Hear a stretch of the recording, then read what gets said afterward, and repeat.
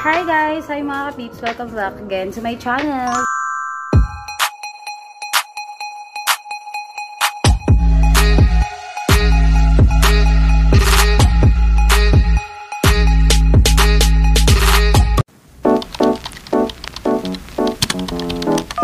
So today's video guys, today's video mga kapips, magka-color ako ng hair ko. Yan. So ito try natin tong product na to, yung Mary Sand Permanent Color. Yan, ito siya guys. So, ang tagal ko na hindi nagko-color ng hair. Last color ata ng hair ko is January. So, ngayon is May na. January, February, March, April, May. So, 4 months na. So, nakikita nyo, as you can see guys, may mga itim-itim na dito sa may sa may ano ko, sa may root ko. So, itatry natin tong Merisan Permanent Color Hair kasi marami ako naririnig dito na itong product na to is kahit walang bleach is ma-achieve mo yung gusto mong color ng hair mo. So, usually guys, ang kino-color ko sa hair ko is always red, red, tapos burgundy, basta parang red siya lagi. Ngayon, ang itatry ko guys is violet, violet red. Yan. try natin tong violet red kung ma-achieve natin yung pagka-violet red niya. Yan. So, ito siya guys. Ito siya yan. So, try natin tong Merisan guys. Yan. So, ang magko-color pala ng hair ko is yung friend ko. Para, para, kung sa sarili ko, para yung mga likod-likod, yung mga likod-likod, ano, malagyan. So, tutulungan ako ng friend ko mag-color ng hair ko. Yun, guys. So, itatry natin tong Marisan Permanent Hair Color kung ma-achieve natin yung violet red na color ng hair kung maganda talaga tong product na to. So, yan guys, mag-color na tayo ng hair. Tapos mamaya papakita ko sa inyo yung result. So, so ayun guys, tignan natin yung packaging itong Marisan Permanent Hair Color. Actually guys, na-try ko na rin yung product nila na isa, yung Cello Wax. Yung Cello Wax maganda yun, kaso lang, syempre, pag laging nababanlawan, so naglulus din yung color ng hair na Cello Wax. Pero maganda yung Cello Wax na yun. So, tingnan natin yung packaging niya, guys. Kung ano yung mga laman sa loob. So, ayun, ito siya. Ayan. Ayan siya. So, ito yung ito yung color. Tapos, ito yung panghalo. Yung color na violet red. Ayan. Tapos, meron siyang conditioner mamaya sa pagbabanlaw. So, may kasama siyang may kasama siyang shower cap. Tsaka may kasama siyang sa kamay. Ito, gloves. Yan. Sa ano, sa magko-color. So, ayan. So, start na natin i-mix siya, guys.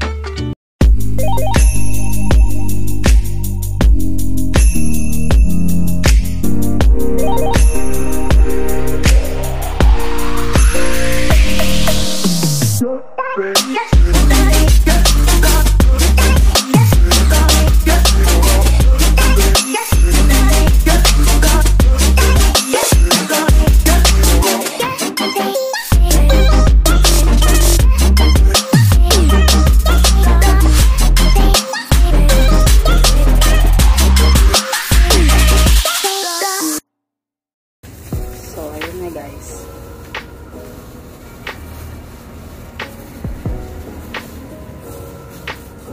So, kung wala kayong friend, kaya nyo naman gawin to sa sarili nyo.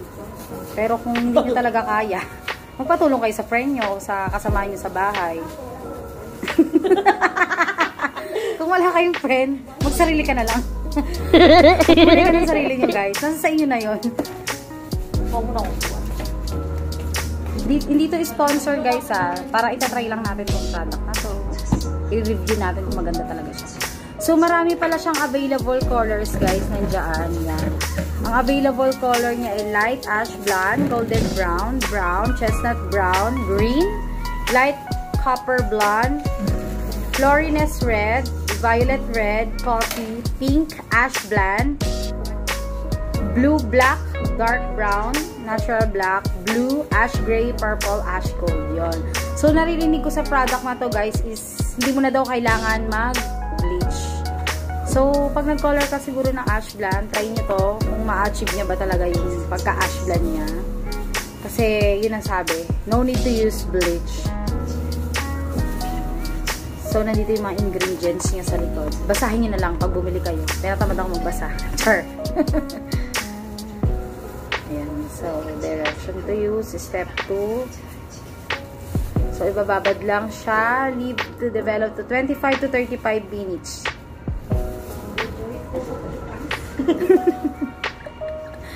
so, 25 to 35 minutes. So, ito try natin siya ng 40 minutes sa hair ko para achieve na achieve natin yung pagka-flowness and red.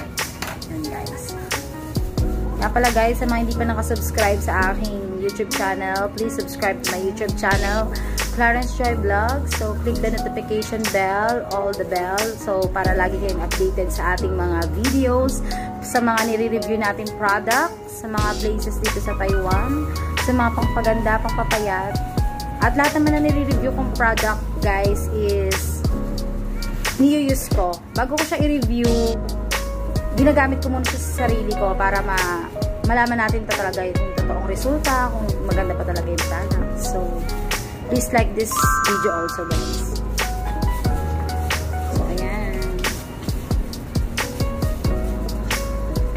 Color, color hair na.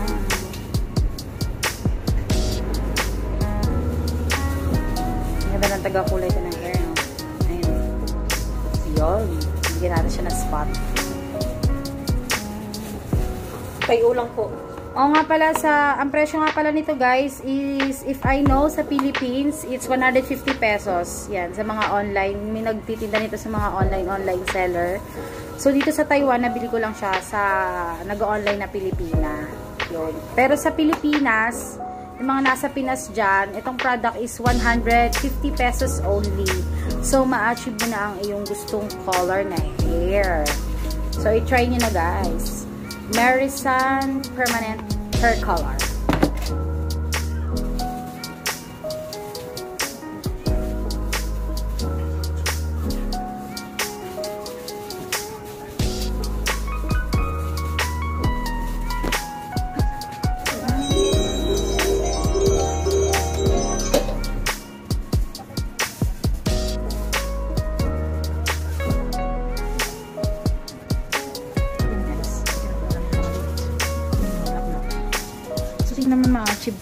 Violet red guys. Kasi may red na yung hair color ko.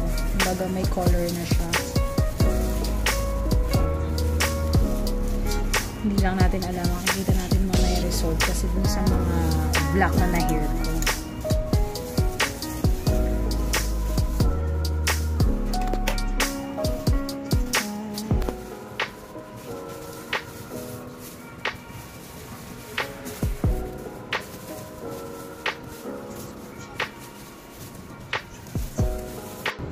Ayun na guys. Ibabad natin siya na makalagay dito sa box.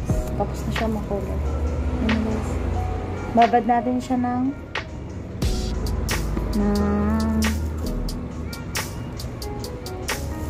nakalagay kasi dun sa direction niya 25 to 35 minutes. Pero parang gusto ko siya ibabad ng 1 hour. Ano, linisin lang natin yung kalat-kalat dito sa ano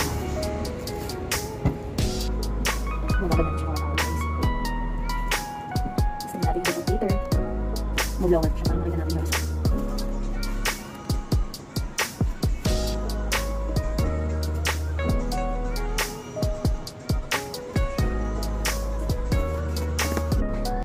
So, ayun na nga guys. Tapos na. Nababad ko siya ng 1 hour.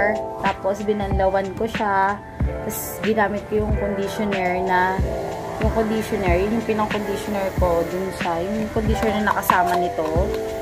So, ayun na. As you can see guys, ayan na ang result ng violet red. Ayan. Ayan violet red. Medyo dark siya. Parang may pagka-burgundy siya. Pero, uh, satisfy naman ako sa naging result. Bin-lower ko na siya guys. Tapos, pinlansya ko lang ng konti. So, ayun. Papakita ko sa inyo. Ayan. So, ayun na. Maganda naman siya guys. Maganda naman yung naging result sa akin. Ayan. Satisfy naman ako sa naging result niya. Kasi may color red na talaga tong hair ko. Ayan. Ayan siya. So, thumbs up for this product para sa akin. Satisfy ako sa naging result ng color niya. Yon. So, tips nga pala guys, sa mga mga haba ang buhok, kagaya ko. So, better pala na 2 box yung gamitin nyo. Actually, pinagkasya lang talaga namin. Ginawa lang ng paraan ng friend ko paano, paano pagkakasya yun tong 1 box. Pero, nung ina-apply nga sa akin, bitin daw yung 1 box na ganito sa mahabang buhok. So, kung mahaba buhok mo guys, na itatry nyo tong product na to, better na dalawang box ang kunin nyo para sa inyong hair, kung mahaba ang hair nyo. Tsaka tips din pala guys, uh, di ba nakalagay sa instruction dito, 25 to 30 minutes mo siyang ibababad. So, better na 1 hour mo siyang ibabad para kumapit, hanggang 1 hour guys, para kumapit talaga yung, yung color niya. So, ayan. So, yun. Okay na, okay ang kinalabasan, nagustuhan ko. Achieve ang kinalabasan kahit hindi ganun yung yung expectation ko na ganun yung color pero satisfied naman ako sa kinalabasan ng color. So, yun na nga. Tatapusin na natin tong video na to guys. Please like this video guys kung na-enjoy nyo tong video na to. And please subscribe if you haven't yet. Tapos, I hope to see you on my next vlog. Be good. Bye!